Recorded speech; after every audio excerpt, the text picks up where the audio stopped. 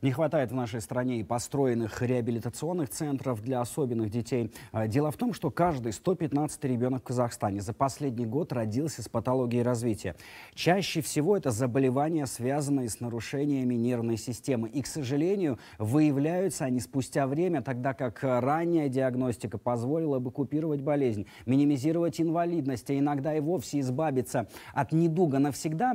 На деле же ситуация иная. Новорожденных в Казахстане Казахстане пока обследуют, э, обследуют лишь на два генетических анализа. К примеру, в соседней России этот перечень куда больше и включает в себя 32 вида исследования. Поэтому эксперты и говорят о том, что ранняя диагностика патологии развития в нашей стране практически отсутствует. Медики заявляют, что это одна из главных причин роста в стране количества детей с инвалидностью. Цифра увеличилась в два раза за последние 10 лет. Э, как решают проблемы родители таких детей и как им помогает государство? Вопросов э, в этой непростой теме действительно много. Лаура Байбачанова попыталась разобраться. Она с подробностями.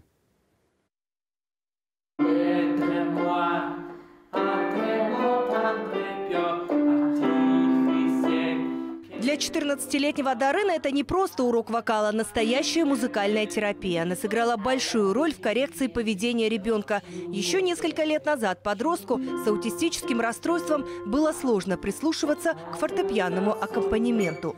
Но отец Дарына, узнав, что не только тактильная методика, но и музыкальная улучшает состояние сына, решил не сдаваться. Родители считают, что и так потеряли 4 года. Мы, честно говоря, не знали том, что у него есть такой диагноз почти до четырех с половиной лет. Психиатр говорит, приходите в 4 года.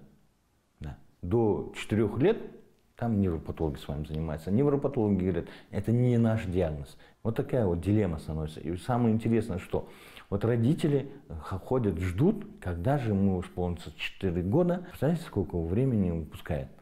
Ребенку полтора-два года исполнилось, сказали, все, вперед, идите, занимайтесь ребенком. Если уже начать, может быть, какой-то процент, по крайней мере, какой-то, пусть это будет даже малый процент, но дети, возможно, уже без инвалидизации могут пойти на выученную школу.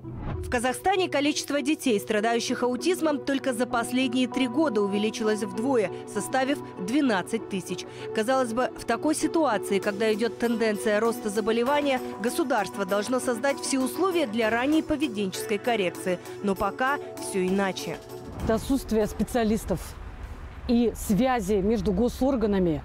А, нету маршрутного листа с самого начала, как мама принимает диагноз. Отсутствие информации, какие центры может обратиться мама с ребенком с аутизмом на уровне ППМК районов города. Только интернет – это все, что я э, нашла. И родительские чаты в первые два месяца принятия диагноза моего ребенка. Только после этого уже потихонечку начала э, уже обращаться в госорганы и так и далее. В списке распространенных в Казахстане заболеваний числится и ретинопатия – нарушение развития сетчатки глаза. Чаще всего она выявляется у недоношенных новорожденных. Выявить патологию еще несколько лет назад было довольно сложно. Не в каждом родильном доме был офтальмоскоп. В итоге такие дети были обречены на полную слепоту. Сейчас проблему с нехваткой оборудования решили – Правда, чтобы закрыть эту потребность, государству пришлось обратиться к благотворительному фонду. Но и тут не задача. Медицинские аппараты есть, но вот работать на них в некоторых родильных домах просто некому.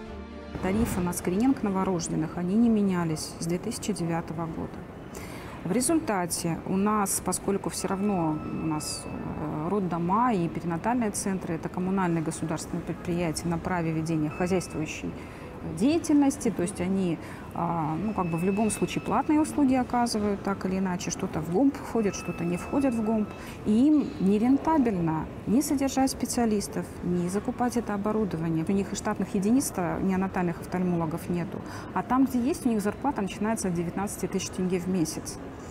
То есть это, естественно, не та зарплата, на которую специалист, который отучился в медицинском университете или институте там 6-7 лет. Не хватает и УЗИ аппаратов экспертного класса. С их помощью можно на ранних сроках диагностировать внутриутробные патологии развития. Проблему снова пытаются решить благотворительные фонды, но цена такого оборудования для них слишком велика. Нужны миллиарды на 100 аппаратов. Но в Минздраве утверждают другое, говорят, что медоборудование есть, хоть и не новое. Однозначно утверждает, что на сегодняшний день не хватает именно 100 УЗИ-аппаратов, наверное, это ну, будет не совсем правильно. Если мы говорим, что на сегодня 140 7 УЗИ-аппаратов имеются, 40% износ, то есть э, это э, определяет э, местные исполнительные органы, потому что непосредственно закуп ведут они. Ранее диагностике патологии мешает и то, что новорожденных в Казахстане проверяют лишь на два вида генетических анализа. Через 4 года обещают добавить еще три. Тем временем в России обследуют сразу на 36. Это муковисцидоз, э, спинальная мышечная атрофия и адреногормональный синдром.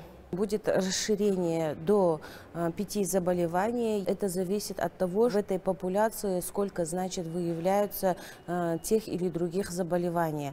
Здесь только а, работа государства, потому что это, безусловно, а, огромный бюджет на покупку анализаторов, на покупку реагентов, на то, чтобы это в каждом роддоме стояло. Вот если это упускается, то, естественно, потом уже поздно. Потом государство берет на себя огромное бремя заботы. На а, январь статистика последняя была открытая. Больше 101 тысячи детей на инвалидности с рождения до 18 лет было в Казахстане. Ну, по, для Казахстана, по нашим меркам, это население такого, ну, таких небольших городов, как Экипастуз, Рудный, там, Жесказган. Это катастрофа. Катастрофическую статистику, возможно, исправит специальная государственная программа. Правда, она заканчивается в этом году, и из 56 пунктов невыполненными остаются около 20. К примеру, отказались от современных трекинг-центров. Он оказался дорогим проектом, нужно было выкупить франшизу. Но реабилитационные центры нужны. Родители детей с ограниченными возможностями предлагают создавать их на основе ГЧП. По такому принципу, как частные детские сады за счет бюджетных средств размещают детей по цене государственного сада. Сейчас же курс реабилитации в среднем обходится от 150 до 300 тысяч тенге. Лаура Байбачанова, Айбын Кусанбеков, жеті күн